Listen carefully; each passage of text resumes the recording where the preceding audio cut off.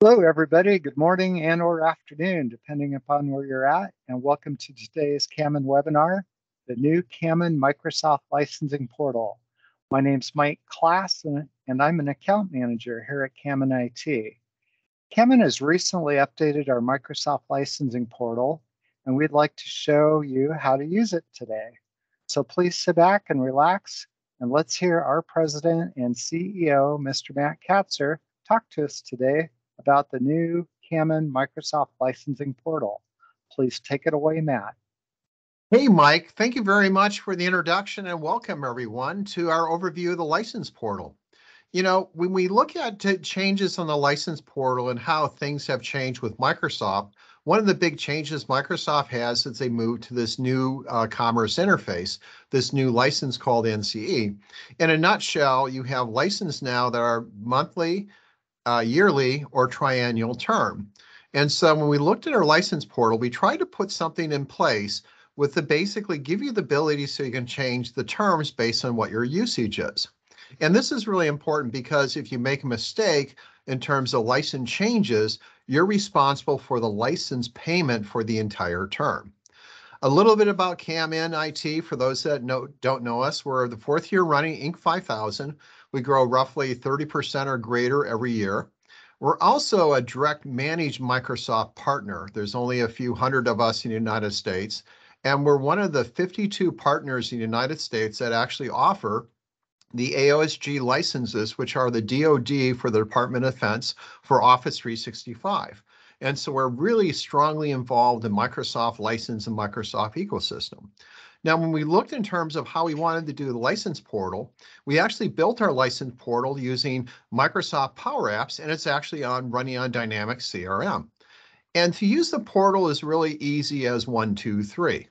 You basically, it's for only global admins, so you have to have the ability to change license and assign it.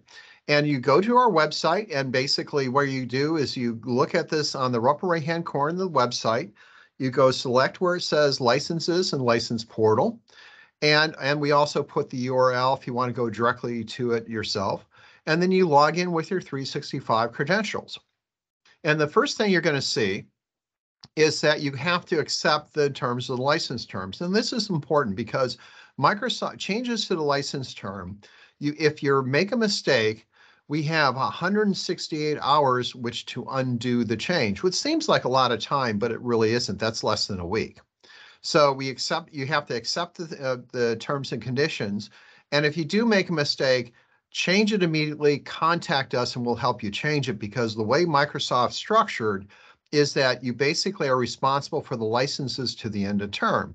So if you by mistake buy 100 E3 licenses and you only meant to buy 10, then and you're on a three-year agreement, you're basically going to pay 100 licenses for over 36 months, and it comes very, very expensive.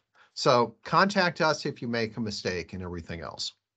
But the first thing you do is after you log in, just click it, and you see access into the license portal. You can see your subscriptions, you can see your invoices, and also you can see the usage data for Azure, so that's available as well. And you can manage the licenses. Now, as a global admin, if you don't have the right privileges, you're going to see this bar that say the managed access, so you don't have permissions. But this is here a screenshot of what you're actually going to see for the licenses. Now, if you are global admin when you access, and keep in mind, so you can invite other folks in here that don't need the global admin to see the vi visibility, see what's going on. But if you're a global admin, you're going to see this capability in terms of the licenses. So you can actually go through and select each of these licenses and make changes. And it, when you add value and when you add the licenses, it's really you go expand the subscription type that you want to have. And most users will have two subscriptions. You're going to have an Azure subscription and you're going to have a 365. And you expand the 365 subscriptions and you're going to see all the different licenses that you have. And then make changes. You just really, it's very simple. You just select a license change the quantity, change in terms of the date if you want to have the date effective. And this is important because under NCE, you can select the dates that you want to have license effective, and then you just commit it and the license provision. A very easy process to go through. Now, how to get started on this? And what we've done is that all the our clients we have actually sent to the subscription owners a how to get a basically introduction or invite to the license portal. And so what you do is when you get the invite, you just really just click on the URL and then you you can come through and you fill in the necessary information and set up your account. Now, one of the first things you have, and this kind of confuses some folks when you actually go in, you actually have to grant permissions. Now, what this is is doing is granting permission to the license portion portion of your 365 tenants. So if you're using Dynamic CRM, we're not giving Actualist rights and everything else to us. We're just talking about the ability of our implementation of the license portal on Dynamic CRM in order to write to your basically 365 instance. And you, from a license portal standpoint, you just accept it and you go through and you have the really very straightforward. It's it's like to sum, summarize it, just go to KAMIND.com, select the license portal in the upper right hand corner, make the changes, and then basically that's pretty much it.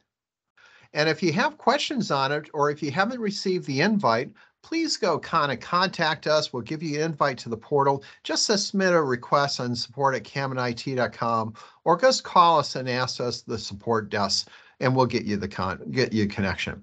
So we're looking forward to actually helping you and basically getting all your services on and be able to so you can actually manage them on Office 365. So reach out today and let's go look at the portal. And with Mike, that's I'll pass it back to you. Thank you very much, Matt. Um, it's been a little bit of time in this incoming, and um, we're excited to share our new Microsoft licensing portal with you. So again, go kick the tires, give it a test drive, and if you have any questions, I think you know what to do. And um, look forward to hearing your comments in in the future and um, what you think of our new Microsoft licensing portal. Um, we appreciate your time today and wish you well. Thank you very much and have a good day. Bye. Thank you, everyone.